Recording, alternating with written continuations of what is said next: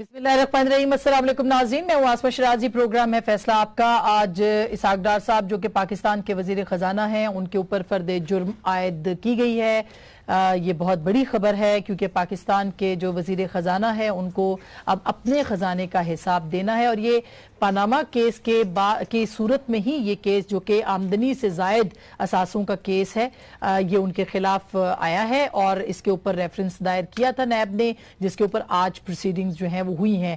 अफसोसनाक बात इसमें सिर्फ़ ये है कि जो कि पाकिस्तान का चौथा बड़ा सुतून है मीडिया, उसको बिल्कुल इजाज़त नहीं दी गई कि वो इस केस को सहाफ़ी जो है वो देख सके। ठीक है, कैमरों पर पाबंदी अदालत के अंदर होती है और हम उसका एहतराम भी करते हैं, लेकिन सहाफ़ी ज़रूर मौजूद होते हैं ताकि वो किसी भी केस को रिपोर्ट करें इस मामले के अंदर और आज के दिन के अंदर इसको पूरी तरह से अवॉइड किया गया। बहरहाल इस पर हम ज़रूर बात करेंगे, लेकिन जो असासों का केस है, उसमें काफ़ी ज़्यादा अहम चीज़ें हैं। मसलन ये कि डार साहब के खिलाफ जो रेफरेंस दायर हुआ है, उसकी सेक्शन चौदह उस पर लगाई गई है। उसके तहत इल्ज़ाम साबित साबित होने की सूरत पर चौदह साल की कैद सजा जो है वो सुनाई जा सकती है। इसी तरह जो जेआईटी की तहकीकाती रिपोर्ट थी, उसमें यह बताया गया था कि माली साल तिरानवे चौरानवे से 2009 के दरमियान इसाक डार साहब के असासों में इक्यानवे गुना इजाफा हुआ था। और इन पंद्रह बरसों में इसाक डार साहब के जो असासे थे, वो इक्यानवे लाख यानी 91 लाख से बढ़कर तिरासी करोड़ सत्रह लाख रुपए तक पहुँच गए थे। जेआईटी रिपोर्ट के मुताबिक इक्यासी बयासी और पिचासी, छियासी तक के जो टैक्स रिटर्न हैं, उनका कोई नामो निशान मौजूद नहीं है, जबकि चौरानवे, पचानवे से 2002 तक की जो वेल्थ स्टेटमेंट्स हैं, वो भी मौजूद नहीं है। और डार साहब की जो आमदनी है 2009 में, वो सात लाख से बढ़कर 2015 में चार करोड़ साठ लाख रुपए हो गई थी। यानी कि पर, ये पर एनम की बात हो रही है। रिपोर्ट के मुताबिक, असासों के हसूल और आमदनी में इजाफे का बुनियादी ज़रिया इसाक डार साहब के साहबजादे की तरफ़ से दिए गए तहाइफ हैं और सुप्रीम कोर्ट में जो डार साहब की जानब से दस्तावेजात जमा करवाई गई 2002 से साल 2005 के दरमियान उन्होंने 80 लाख बीस हज़ार पाउंड शेख निहान मुबारक अल निहान से वसूल किए थे। ये उन्होंने अपनी दस्तावेजात में बताया। सो आ, कि, कितना जस्टिफाई कर सकेंगे डार साहब और कर सकेंगे कि नहीं कर सकेंगे? और हो सकता है कि वो जस्टिफाई कर दे लेकिन इस वक्त जो मुतालबा है कि उनको रिजाइन करना चाहिए वो अपोजिशन और हुकूमत की अपोजिशन की तमाम जमातों की तरफ़ से वो इस वक्त तक सामने आ चुका है और पीपल्स पार्टी और पीटीआई दोनों ये कह रही हैं कि डार साहब को मुस्ताफी होना चाहिए जब तक कि फैसला नहीं होता या दूध का दूध पानी का पानी नहीं होता। क्यों वो इस्तीफा नहीं दे रहे? इसके ऊपर हम ज़रूर बात करेंगे और फिर आज के इस प्रोग्राम में नंबर्स गेम जो कि बड़ी इंपॉर्टेंट है कायदे इस बेख्तलाफ के लिए कौमी असम्बली के अंदर खुशी शाह साहब को तब्दील करने के हवाले से उसके ऊपर बात करेंगे, लेकिन पीटीआई के अंदर भी बहुत सारे इख्तलाफात हैं इस मामले के ऊपर। शाह महमूद कुरैशी साहब गए थे एम के एम तो मान गई लेकिन क्या पीटीआई अगर वो कैंडिडेट होते हैं, जिसका अभी तक कोई अनाउंसमेंट नहीं, उनको वोट देंगे कि नहीं देंगे, इसके ऊपर हम ज़रूर बात करेंगे। और फिर आई बी चीफ पे जो इल्ज़ाम लग रहे हैं काफ़ी संगीन इल्ज़ाम भी हैं और काफ़ी संगीन मामला भी है। हमारे साथ मौजूद है जनाब मुसद्दिक मलिक साहब जो कि तर्जुमान है पाकिस्तान के वज़ीर आज़म के और पाकिस्तान मुस्लिम लीग नवाज़ के रहनुमा है। बहुत बहुत शुक्रिया, शुक्रिया। आ, हमें गबोल साहब ज्वाइन करेंगे नबील गबोल साहब पाकिस्तान पीपल्स पार्टी का जाना माना नाम है और इस वक्त हमारे साथ इस्लामाबाद से मौजूद है। बहुत बहुत शुक्रिया गबोल साहब। हमें ज्वाइन करेंगे जनाब एजाज चौधरी साहब जो कि पाकिस्तान तरीके इंसाफ के अगेन एक बहुत सीनियर रुकन भी है और पाइनियर्स में से हैं। उनसे भी बात करेंगे कि पीटीआई के अंदर क्या हो रहा है। और थोड़ी देर में इशाद भट्टी साहब जो सीनियर तजिया निगार हैं, वो भी हमें ज्वाइन करेंगे। सबसे पहले गबोल साहब, मैं आपके पास आना चाहती हूँ। ये एक तो ये जो असासा जात वाली स्टोरी है डार साहब तो वाकई इन ट्रबल है। और कहा जा रहा है कि शरीफ खानदान से ज़्यादा डार साहब के लिए मुश्किल है इस केस के अंदर। क्या वो जस्टिफाई कर पाएँगे अपने एहसास देखिए साग डार इस वक्त फाइनेंस मिनिस्टर रहना, मैं समझता हूँ कि पाकिस्तान को दुनिया भर में एक बनाना रिपब्लिक की तरह आप पेश कर रहे हैं, खुद। आज के हुक्मरान जो हैं कि एक शख्स जिसके ऊपर नैप के केसेस चल रहे हैं, और वो भी केसेस ऐसे हैं जो कि अभी से नहीं है, काफ़ी अरसे से। और मैं समझता हूँ कि पूरी दुनिया में कोई करप्ट इतना करप्ट कोई जिसके करप्शन चार्जेस हो और वो फाइनेंस मिनिस्टर बन के बैठे तो ये सरासर नाइंसाफी है पाकिस्तान के साथ। पहले ही पाकिस्तान को कम नुकसान नहीं दिए। तो इसाक डार साहब किसी डील के नतीजे में वापस आए हैं जो जो खबरें हैं मुझे। अच्छा। नवाज़ शरीफ साहब कोई नए एनआरओ के अ, चक्कर में कोशिशें कर रहे हैं। कि नए कोई नया एनआरओ बने। और मैं समझता हूँ कि ये मुल्क का पाकिस्तान के लिए एक तबाही होगी ये जो एनआरओ जिसकी कोशिश नवाज़ शरीफ कर रहे हैं और जिसकी कोशिश अच्छा लेकिन साथ साहब अगर एनआरओ होता या कोई डील होती तो कल मियाँ साहब का लबो लहजा ठीक है उन्होंने एक इदारे का नाम नहीं लिया जो पहले उनकी तरफ़ इशारा करते थे लेकिन सुप्रीम कोर्ट के खिलाफ तो उनका लबो लहजा नहीं बदला। और कहा यह जाता है बल्कि कल शेख रशीद साहब ने कहा कि सुप्रीम कोर्ट को इसलिए कह रहे हैं कि उनके पीछे फौज खड़ी है उनके पीछे इदारा खड़ा है। ये कल शेख साहब ने कहा था। तो क्या आप क्या समझते हैं? कौन सी देखें, के इम्कान है? देखें मैं ये सुप्रीम कोर्ट तो कोई डील नहीं करती है ना। सुप्रीम कोर्ट मुशरफ ने जब एनआरओ दिया था उस वक्त तो मुशरफ का जाती फैसला था। ठीक। और अभी भी मैं नहीं कह रहा हूँ कि हमारी अ, जो जो हमारे इदारे हैं वो करना चाह रहे हैं। मैंने ये कहा कि नवाज़ शरीफ करना चाह रहा है और नवाज़ शरीफ की कोशिशें हैं जिसमें कुछ नवाज़ शरीफ के दोस्त जो हैं बीच में पड़े हैं जिसमें मैंने पहले बताया कि सागदार भी शामिल है और भी कुछ लोग शामिल हैं और चौधरी निसार भी शामिल है। ये भी मैं आपको बताऊँ कि चौधरी निसार को अपने राइट में साथ में बिठाने का मकसद ही एक मैसेज देना था कि चौधरी निसार के और नवाज़ शरीफ के इख्तलाफात ख़त्म हो चुके हैं और जो इख्तलाफात थे।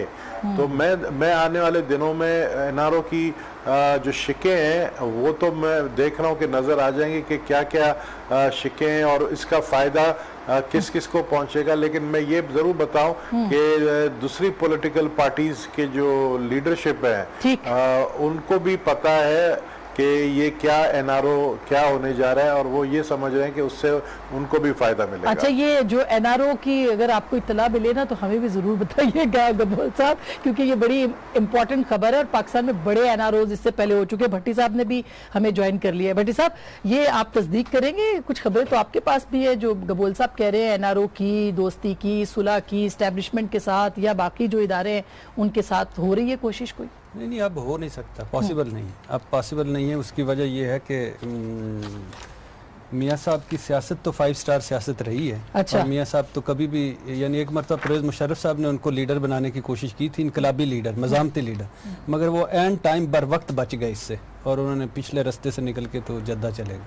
मियाँ साहब ना मजामती हैं ना इनकलाबी हैं वो कोशिश करेंगे इसी इन्हीं चीज़ों की जिन सब गुलगोल साहब ने लेकिन इस वक्त तक फ़िलहाल कोई ऐसा नज़र नहीं आ रहा। और एन आर ओ करेंगे किससे?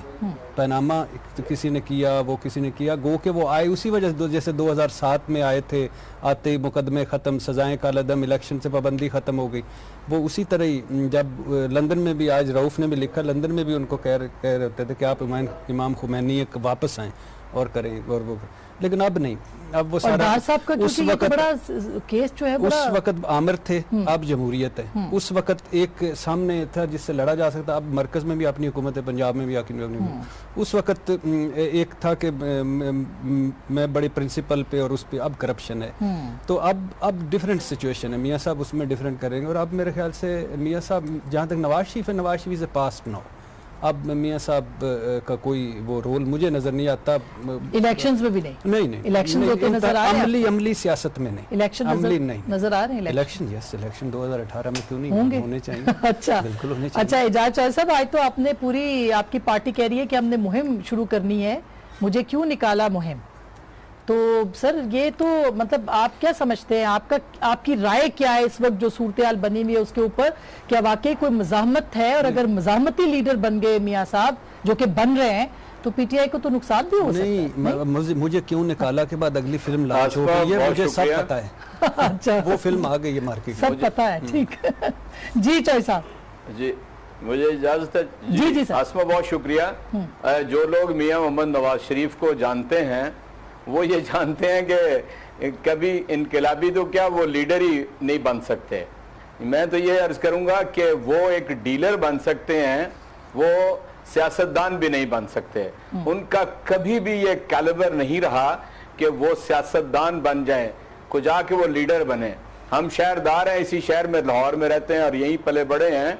आपको पता है जो शख्स पैसे दे के वज़ीर बना हो माशाल्लाह के दौर के अंदर और एक जर्नैल को के साथ डील की हो वो कभी भी सियासतदान नहीं बन सकता। लेकिन जो साहब ये इल्ज़ाम तो खान साहब के ऊपर भी हैं कि उन्होंने भी वरना तो उनकी बेटी के साथ आपको जी उनके ऊपर भी इल्जामात है। मैं बताता हूँ। जी।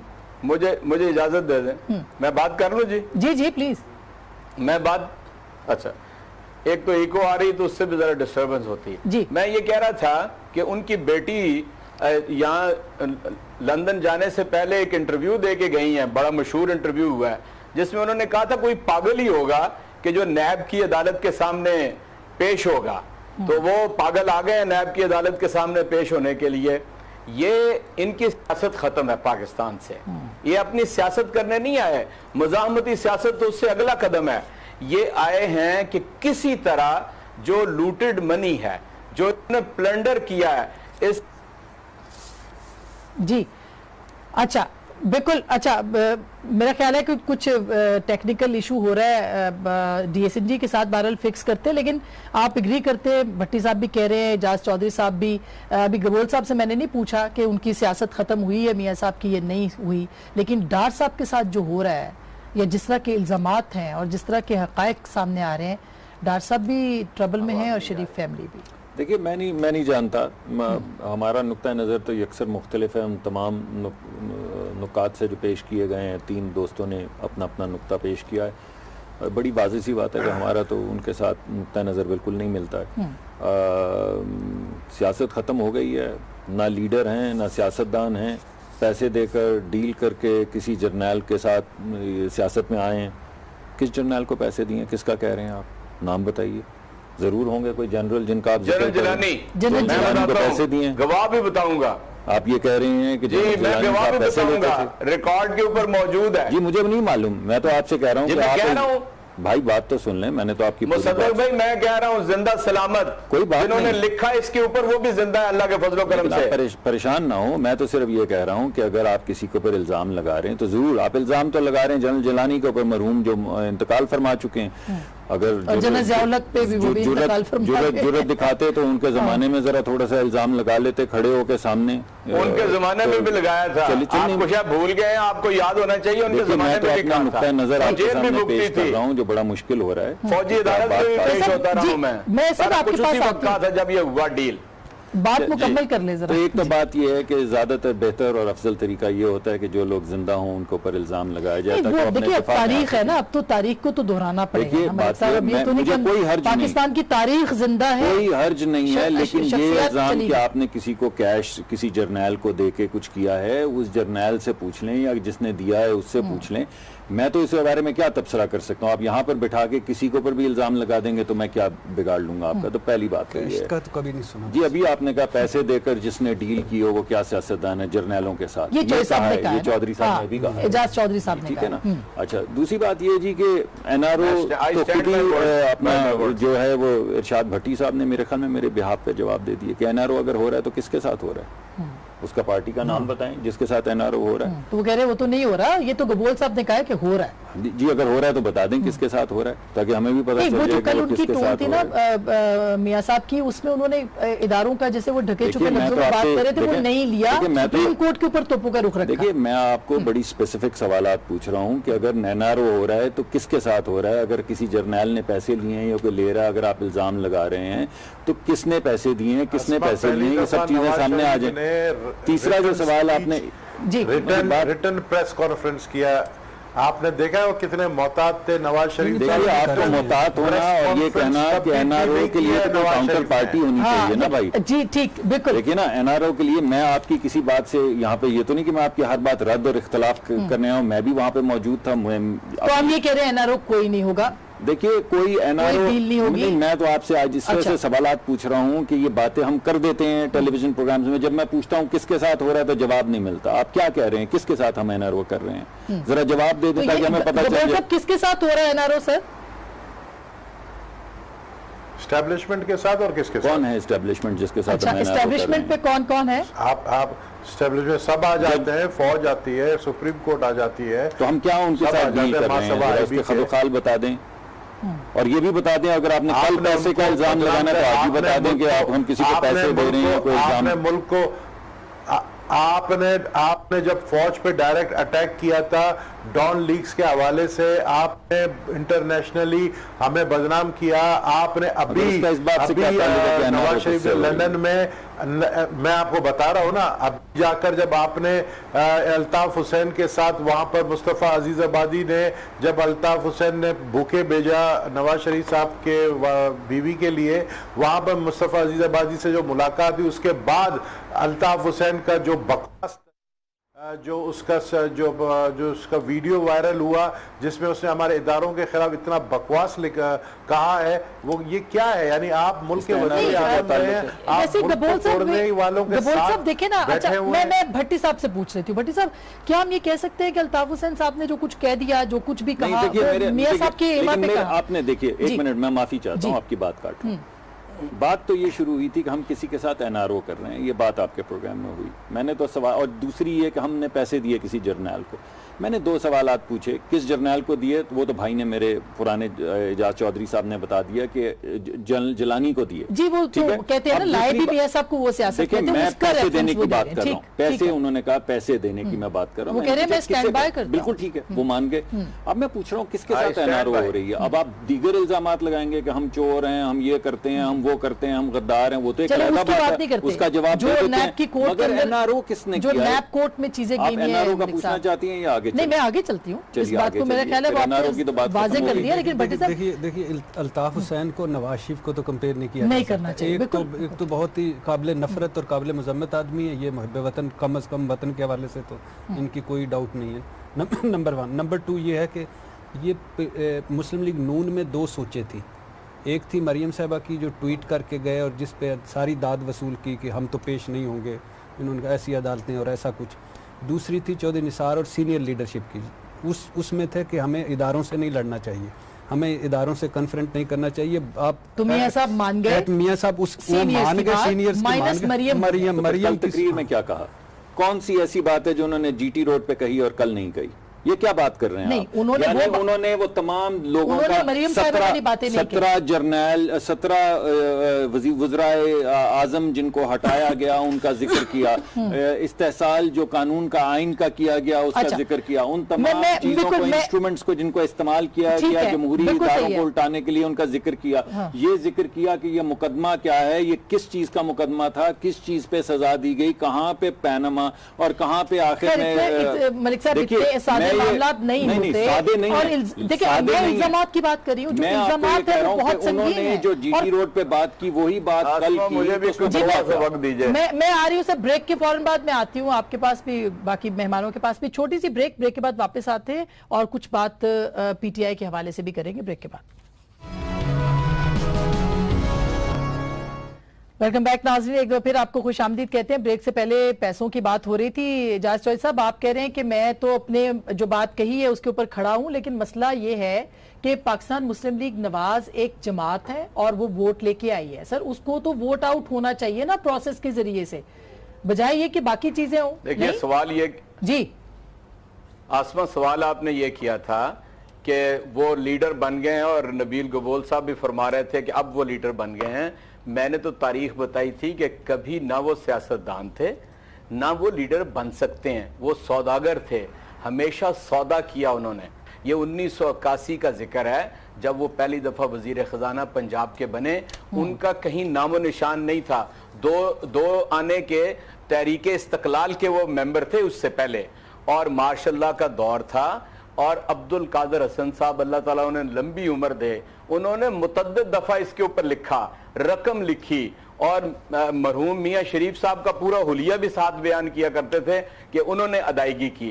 दूसरी बात कि एजाज चौधरी ने यह बात उस वक्त नहीं की। एजाज चौधरी ने यह बात उस वक्त भी की उन्नीस सौ चौरासी का आधा साल समरी मिलिट्री कोर्ट भुगतता रहा और जेलों में रहा मार खाता रहा। इसलिए ये मुझे ये बात इस तरह याद है जिस तरह अल्लाह का कायदा याद है। उसके बाद यानी ये ये ना समझे मैं बिल्कुल यकीनी तौर पे कहता हूँ कि यहाँ पर ना कोई डील हो रही है ना कोई ढील दी जाएगी। क्यों भला?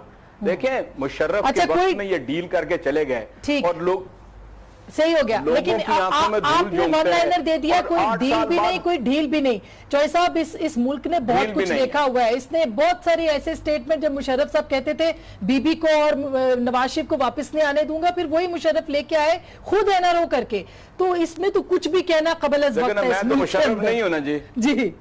सही मैं है। तो मुशर्रफ नहीं हूँ। मैं तो मैं, मैं तो एक पॉलिटिकल वर्कर हूँ हाँ। और थोड़ी बहुत अपनी समझबूझ और जो सियासत देखी है उसकी बुनियाद के ऊपर कह रहा हूँ कि नवाज़ शरीफ और शरीफ फैमिली का चैप्टर क्लोज होने को जा रहा है। अच्छा गबोल साहब अच्छा, गबोल साहब। दूसरी बात जी मैं बिल्कुल आपने ये बात कह दी कि उनका चैप्टर क्लोज हो गया जिसका जवाब पहले भी दे चुके हैं मुसद्दिक मलिक साहब। लेकिन गबोल साहब आप क्या समझते हैं क्या वाकई सियासत खत्म हो रही है नवाज़ शरीफ साहब की या सियासत शुरू हो रही है नवाज़ शरीफ साहब की? मैं समझता हूँ कि नवाज़ शरीफ पिछले शायद पच्चीस साल से सियासत कर रहे हैं लेकिन वो कभी लीडर नहीं बने हैं। लेकिन पहली दफ़ा जब ये लंदन से अभी ये वापस आए हैं और जो हमें मतलब खुद ये मैं नहीं समझता था कि वो वापस आएँगे लेकिन जब अब ये वापस आ गए हैं आज जाकर अब मैं कह सकता हूँ कि नवाज़ शरीफ को सियासत की समझ आ गई है आ, उनको उनको लीडर कह सकते हैं। साहब, आपका पहले ये कहना भी बड़ा मानी रखता है। बने तो वो लीडर नहीं बने। आपका ये कहना भी बड़ा मानी रखता है। उसकी वजह है। जी।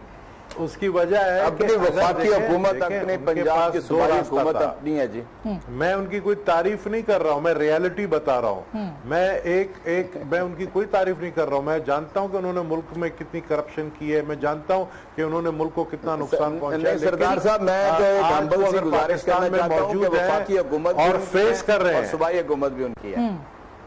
सही? वो कह रहे हैं? वो वो देख वो फेस कर रहे हैं। वो वो अगर फेस कर रहे हैं और वो, अगर अगर ये जो टकराव की जो उन्होंने फजा पैदा की है माँ सवा जो उन्होंने कल एक प्रेस कॉन्फ्रेंस की जिसमें उन्होंने उन्होंने पहली दफ़ा speech पहली दफ़ा प्रेस कॉन्फ्रेंस जो है राइटिंग में बिल्कुल। रिटर्न अच्छा, इससे- इससे बिल्कुल आप इससे ज़्यादा हटकर बात नहीं करेंगे। बिल्कुल मैं भट्टी साहब आप एग्री करते हैं कि अब सियासत शुरू हुई है और ये जो डिफाइंस की सियासत है मियाँ साहब की ये उनको फ़ायदा देगी या नुकसान देगी? नहीं नहीं नहीं बिल्कुल भी नहीं। पता नहीं गबोल साहब का अपना व्यू है। हाँ। मेरा ख्याल है कि मियाँ नवाज़ शरीफ साहब की सियासत ख़त्म होगी सियासत ख़त्म होगी। वो पार्टी हेड रहे हैं उनको कोई कानून साजी हो जाए तो वो पीछे रह के काम करें। सियासत अब आगे निकल गई है इसके।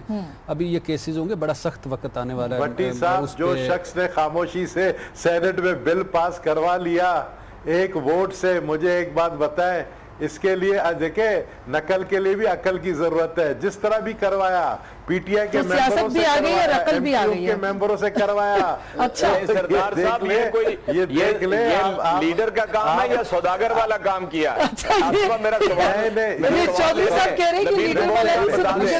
ये लीडर का का काम है। या सौदागर का काम है अच्छा। सियासत के अंदर अगर आप आप सियासत कर जाए तो वो सौदागर भी सियासतदार बन जाता है। नहीं नहीं उस वक्त पता क्या मज़े का क्या हुआ? सेनेट का जब ये वोट होने लगा आपको शायद आप तो पता है आप तो होते हैं वहाँ होते हैं जाते हैं तो इस वक्त बड़ा मज़े का हुआ कि ये जो सबसे बड़ी जमहूरियत की चैंपियन है तरीके इंसाफ जी। इसके जितने सैनिटर्स थे वो एन वक्त पे वाकआउट कर गए। जो सबसे बड़े जमहूरियत के चैंपियन है रजा रबानी वो सीट छोड़ गए। उसके बाद एम क्यू एम लॉबी में चली गई। फाटा हुकूमत से मिल गई। और जब सैंतीस सैंतीस हुए तो साद रफीक साहब के कहने पे मियाँ अतीक ने वोट डाल दिया। अब तो अब अब आप तो देखें तो कि अब अब आप देखें देखें लेकिन इस सियासत का देखें कि जो जिसको इस मुल्क की सबसे बड़ी अदालत नायल करार दे चुकी है उसको ईवान बाला कह रहा है कि तुम आ जाओ हम पे फिर मुसलत हो जाओ। अच्छा, मुल्कों में कानून साजी होती है करप्शन रोकने के लिए इन सारों हमारे यहाँ तो कानून साजी होती है। है नहीं, आप जो नंबर। गेम कर सकते हैं। देखें यानी अब ये ये आपने जमहूरियत ये कर दी है। कोई कानून बंदों को गिना करते हैं, तोला किधर गई वो रूल ऑफ़ लॉ वो आइन और कानून की बालादस्ती देखें। ये वैसे कहाँ गया वो? ये ये वैसे जल्दी से मैं ब्रेक के बाद भी आपका जवाब लूँगी लेकिन क्विकली अगर बता दें कि ये आप वाकई आसमा मैं- मैं, इतना बोलूँ मैं आसमा इत, मैं से इतना ज़रूर जाते जाते आपकी ब्रेक से पहले मैं इतना ज़रूर बोलूँगा। आर्टिकल 62 63 इन मेंबरों पर लागू होती है। जिन्होंने सेनेट में ये गेम करके बिल पास करवाया। उन मेंबरों पर आर्टिकल क्यों? क्योंकि इन्होंने कौम के सामने झूठ बोला वैसे गबोल साहब गबोल साहब मैं ब्रेक मैं ब्रेक पे जा रही हूँ लेकिन ब्रेक के बाद मैं आपसे पूछूँगी कि एतजाज साहब ने ये डिलवाने की क्यों बात की जबकि ये थी ही नहीं उसके अंदर तो फिर ये दिलवाया क्यों गया? मुझे क्यों दिलवाया? ये शिक कह रही है। एक छोटी सी ब्रेक लूँगी और ब्रेक के बाद ये जो नंबर्स गेम है जो सेनेट में हुआ वो नेशनल असेंबली के लीडर ऑफ़ द अपोजिशन के लिए भी हो सकता है। ब्रेक के बाद इस पर बात करेंगे मैं साथ रहिएगा।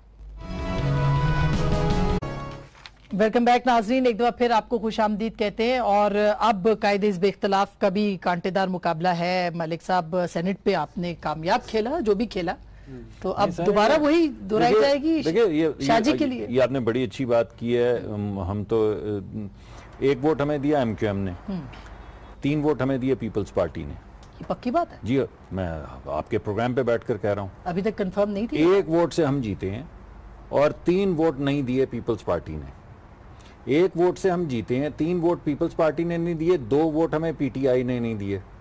यानी अपनी ही जो टेबल कर रहे थे पहली बात तो ये है कि डेढ़ साल से ये बिल जो है सर्कुलेट हो रहा था। जब नेशनल असेंबली में पास पास हुआ सारी जमातें वहाँ पे मौजूद थी।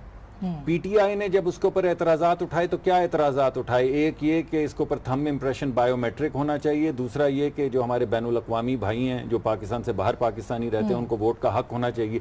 क्यों नहीं ज़िक्र किया इस बात का? नहीं उस वक्त तो ये था ही नहीं, ये तो डिलीट हो चुका मैं तो यही आपको कह रहा हूँ ना तो उस वक्त डालना था ना। हाँ। लेकिन आपने डालना था आप लोगों ने नहीं डाला आप सुन लीजिए ये सबने मिलके वोट इसको बिल को पेश किया था उस पर बाकायदा वोट हुआ है। डेढ़ साल से सब कमेटियों और कमेटियों में ये घूमता रहा है जिसमें तमाम पार्टियाँ कि बाद भी बिल्कुल बिल्कुल वो इन्होंने निकाला वहाँ पे। हाँ। सेनेट की सब कमेटी के अंदर से निकला सारी पार्टियाँ मौजूद तो थी। हैं, जब। वोट के ऊपर आया और एक दिन पहले जब इन्होंने ये फेंका तमाशा तो फिर तमाशे पे खड़े हो जाते फिर पीपल्स पार्टी अपने वोट डालती गिन के। और उसके साथ साथ फिर पीटीआई अपने वोट डालती। अब पीटीआई अगर इस पर वोट ना डाले पीएमएलएन उस पर वोट ना डाले तो मुजरिम एमक्यूएम है। एमक्यूएम ने एक वोट डाला।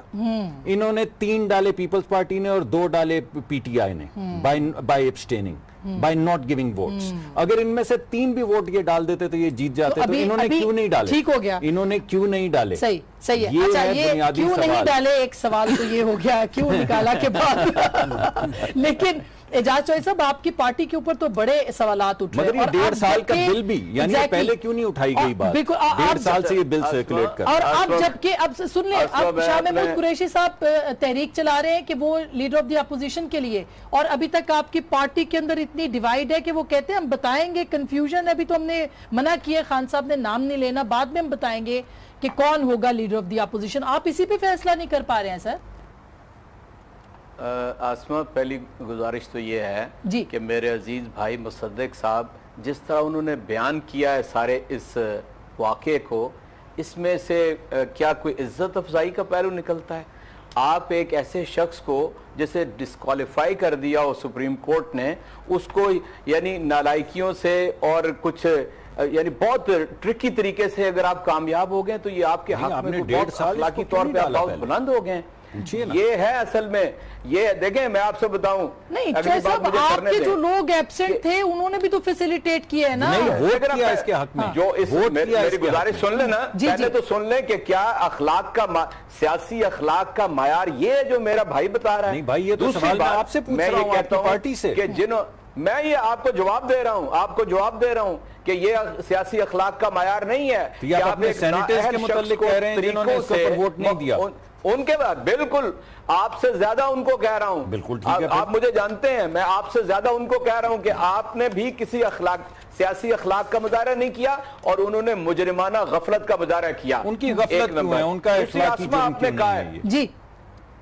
जी चौधरी साहब आप कंप्लीट कर लें फिर मैं आगे बढ़ूं। रहा हूँ आपको आपको तो ये कह रहा हूँ कि आपका सियासी अखलाक ठीक नहीं है। और, उनको कह रहा हूँ कि उन्होंने मुजरिमाना गफलत का मुजाहरा किया। उनको ज़्यादा सख्त बात कह रहा हूँ। और आप ये सुनें। ये भी बता दीजिए साथ में ये पिछले डेढ़ साल से आपने बिल में क्यों नहीं डाला? नेशनल असेंबली में भी अच्छा चले मैं इसको आगे बढ़ाती हूँ जो हो गया हो गया।